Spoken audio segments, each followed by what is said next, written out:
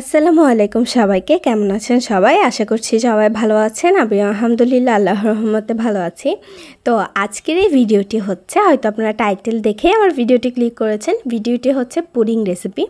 হ্যাঁ pudding recipe আমার চ্যানেলে আছে দু একবার, কিন্তু আমি তারপরেও আজকে একটু দিয়ে দিচ্ছি। এটা হচ্ছে ভ্যানিলা এসেন্স, না থাকলে আমরা কীভাবে পুডিংটা মেক করব।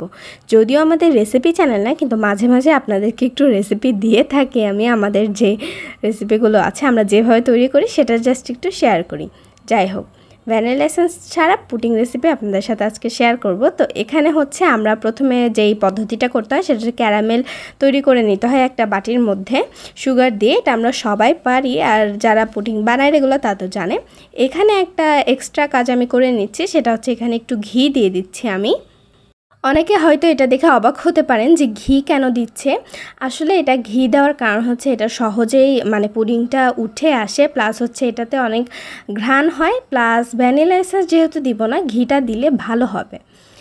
চাইলে এটা স্কিপ করে বাটার দিতে পারেন, চাইলে নাও দিতে পারেন। এটা আমরা দিয়ে থাকি, সেটাই শেয়ার করলাম। যাই হোক, আমাদের যেই পুডিংয়ের মোল্ডটা এই মোল্ডটা একটু আকারে বড়, যার কারণে আমরা এখানে পাঁচটা ডিম দিচ্ছি।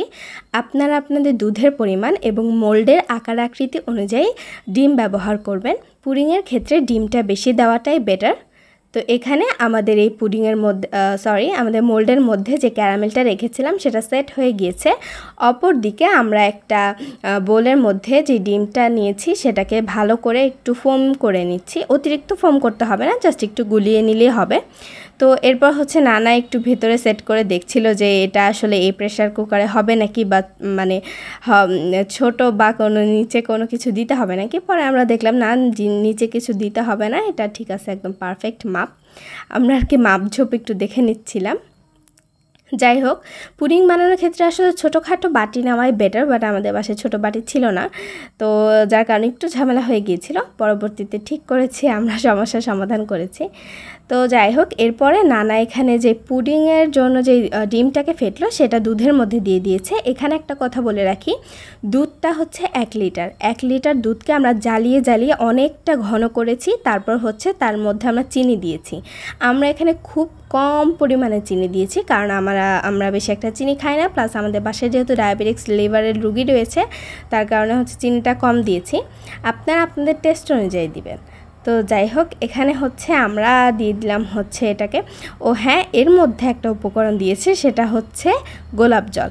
দুই এক ফোঁটা গোলাপ জল জাস্ট আমি দিয়েছি এখানে। ওটা জাস্ট আমি মানে মানে ভিডিওটা করতেই পারিনি। আমি কীভাবে যেন এটা ডিলেট হয়ে গেছে আমার ফোন থেকে, কারণ দেখাতে পারলাম না। আমরা এখানে দু এক ফোঁটা গোলাপ জল দিয়েছি, বা কেওড়া জল যেটাকে বলে, কেওড়া পানি, সেটা আমরা এখানে দু এক ফোঁটা দিয়েছি, ভ্যানিলা এসেন্সের বদলে।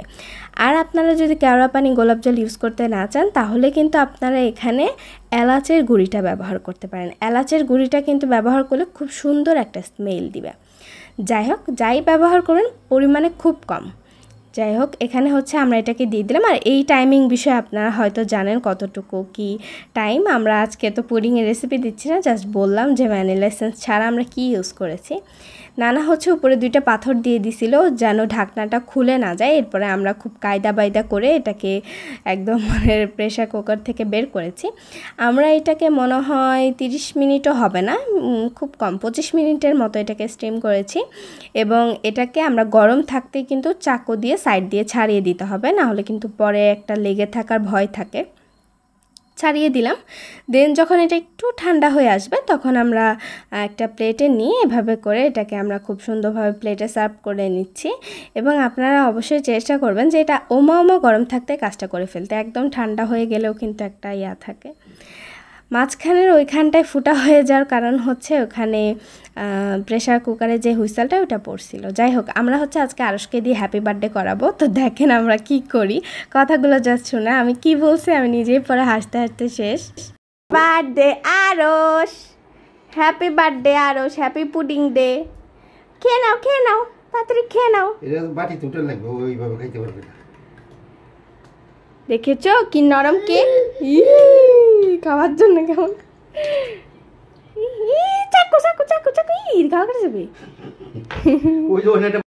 এই যে নানা এখন বাটিতে উঠিয়ে দিচ্ছে তোমাকে। বাটিতে উঠিয়ে দিয়ে তারপর এখন খাবে। আরস ভাবি এখন কি খাবে? দাঁড়াও চামচ ছিল। না ওইটা না ওইটা না ওই চামচ দেবে না। আরে দাও এই চামচই দাও আপাতত। চলো। এ খাবে। হ্যাঁ দাও একটু মুখে দাও। একটু খাক। বিসমিল্লাহ বিসমিল্লাহ। মাশাআল্লাহ মজা পাইছে না? খুব মজা যাও এটা আচ্ছা, নিয়ে যাও আচ্ছা, তুমি আচ্ছা, এটা খেয়ে নাও। Tata. Bye bye. Bye bye. এখন হচ্ছে আমি একটু ট্রাই করব যে এটা আসলে কেমন হয়েছে। আমার আসলে ও কাটার আগে ভিডিওটা করা উচিত ছিল। সমস্যা নেই। আর এই গোলটা হয়েছে হচ্ছে হুইসেলের জন্য এটা সমস্যা নেই। তো ভেতরটা জাস্ট একটু যদি আপনারা দেখেন যে ভেতরটা কিন্তু পারফেক্ট আর বাইরে দিয়ে কিন্তু অনেকে ছিদ্র ছিদ্র হয়ে থাকে। এখানে কিন্তু সেটা হয়নি। তো এটাকে হচ্ছে আমি যে কাটতেছি বিসমিল্লা তো এটা অনেক সফট হয়েছে, কারণ হচ্ছে এখানে ডিমটা বেশি ইউজ করা হয়েছে। যেহেতু আমাদের পুডিংয়ের বাটিটা অনেক বড় ছিল, ডিম এর কারণে বেশি লেগেছে।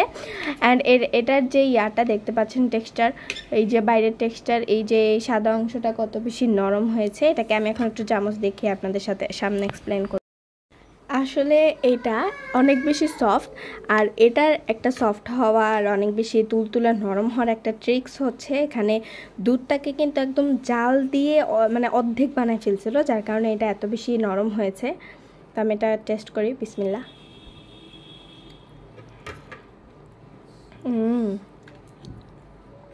এটা যখন ঠান্ডা হবে, আপনারা যখন এটাকে ফ্রিজে রাখবেন, এই পুরাটা ঠান্ডা হওয়ার পর কাটলে বেশি মজা লাগবে। একটু গরম অবস্থাতে এটা খেতে খুব একটা বেশি মজা লাগে না। মানে আমি বলতে চাচ্ছি যে যে এক্স্যাক্ট যে টেস্টটা সেইটা আসে না। কিন্তু এখন কিন্তু মানে যদি আপনারা এটা ফ্রিজে রেখে একদম ঠান্ডা করে খান, একদম মানে অনেক মজা পাবেন। জাস্ট ওয়াও ভ্যানিলা এসেন্স ছাড়াই এটা ওয়াও কোনো ডিমের আষ্টে গন্ধ নেই, কোনো গন্ধই নেই। সুন্দর একটা সিম্পল ঘ্রাণ আছে। দুধ ডিমের মিল মানে মিশ্রণ একটা ঘ্রাণ সেটাই তাছাড়া কোনো ইয়া নেই। খেতেও বেশ মজা হয়েছে। এবং এটা কিন্তু অনেক বেশি হেলদি অনেক হেলদি যারা দুধ খেতে চায় না অথবা ডিম খেতে চায় না, তারা এভাবে করে পুডিং বানিয়ে খেতে পারে। জাস্ট দেখেন। আর এই যে ক্যারামেলের যে ঝোলটা এটা দিয়ে যদি এভাবে করে খান, অনেক মজা। আমি আসলে প্লেট থেকেই খাওয়া শুরু করে দিছি। আর মজা ছোটোবেলা থেকে আমার নানার হাতের পুডিং অনেক বেশি মজা হয়, এটা আর বলার কিছু নাই। আর পুডিংয়ের রেসিপি আমি একদম একবার আমার চ্যানেলে আপলোড দিয়েছিলাম, ওটা আমি বানিয়েছিলাম। ওটা কিন্তু অনেক সুন্দর হয়েছিল। কিন্তু একটা সমস্যা হয়েছিল যে নানারটার মতো এত মজা হয় নাই। নানারটা তো নানারটাই। ভিডিওটা পর্যন্তই। ভালো লাগলে অবশ্যই কিন্তু একটা লাইক দিবেন আর অবশ্যই কিন্তু কমেন্ট করবেন। সাবস্ক্রাইব করতে ভুলবেন না। আসসালামু আলাইকুম সবাইকে। প্রিটিস হার্ট আল্লাহ হাফেজ।